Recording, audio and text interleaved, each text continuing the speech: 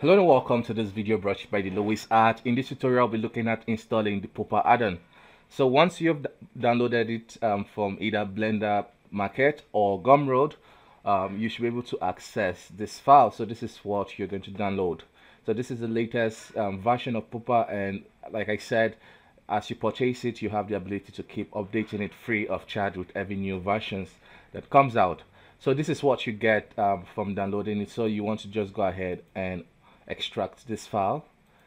And you should see this um, two zip files. So the first one you have is the Pupa add-on itself. And the second one you have is the retarget BVH and you also have a readme text kind of guiding you the way um, on how to install this. So it tells you to uh, install the two add-ons that you can see here and importantly enable Rigify so let's um, get started on how that works. So um, starting up you can go to user preference and we can just go ahead and search for Rigify.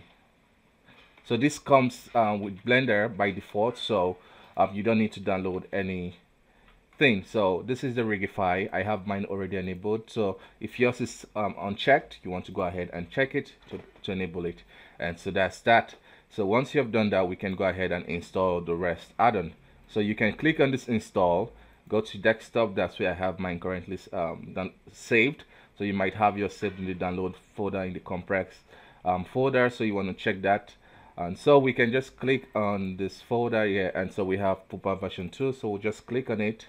And it's just going to go ahead and install Pupa so it's going to take a bit of time because it's loading in um, the animation and loading everything you might need for Pupa add-on so this is it. And you, can, you just want to go ahead and hit enabled so once you've enabled it you're good to go um, so we need to install one more add-on. So that add-on is the retarget bvh so this is the engine behind the Pupa add-on that allows you to um, transfer those animation into any type of post character. So if you have a t-pose character um, Pupa add-on can easily get that using this particular add-on. If you have an a post character or even an asymmetrical post character um, that's when you're using motion um, if you're using raw um, mesh scan data. Um, this retarget BVH is going to really uh, help Pupa to really target it and get the best possible result. So you want to um, just click on that and enable it.